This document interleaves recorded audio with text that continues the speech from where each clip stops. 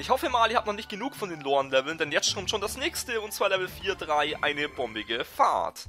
Und das ist ja wieder ein klassisches Loren-Level mit nur einer einzigen Lore, die wir die ganze Zeit durch die Gegend, durch das Level eben fahren und nicht mit mehreren, wo wir immer voneinander abspringen müssen.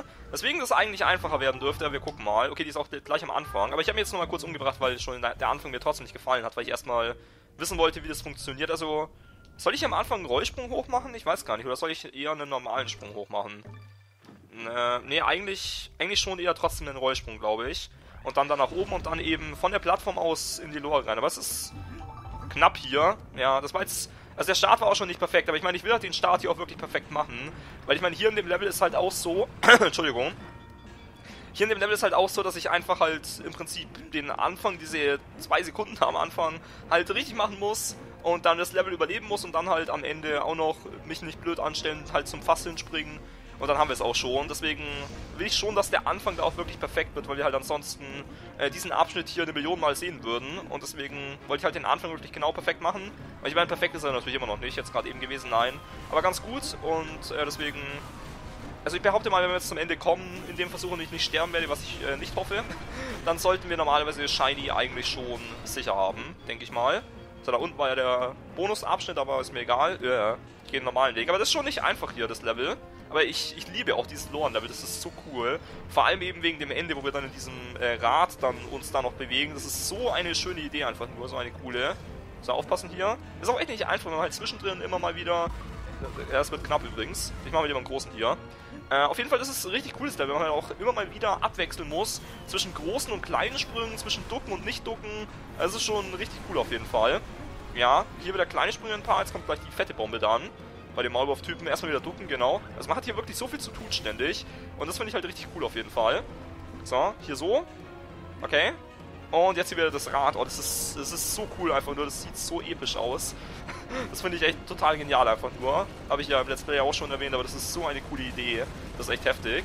So, okay. Und damit sind wir auch schon fertig.